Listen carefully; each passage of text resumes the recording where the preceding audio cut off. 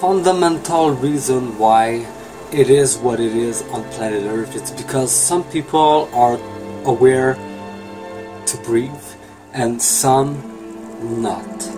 So uh, for uh, many reasons on both sides, uh, they choose to breathe or not.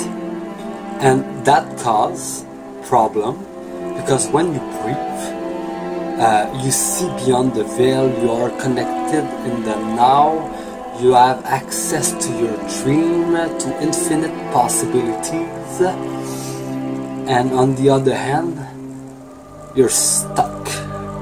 You don't see clearly, and uh, you're gonna be uh, moved uh, to uh, create even more confusion.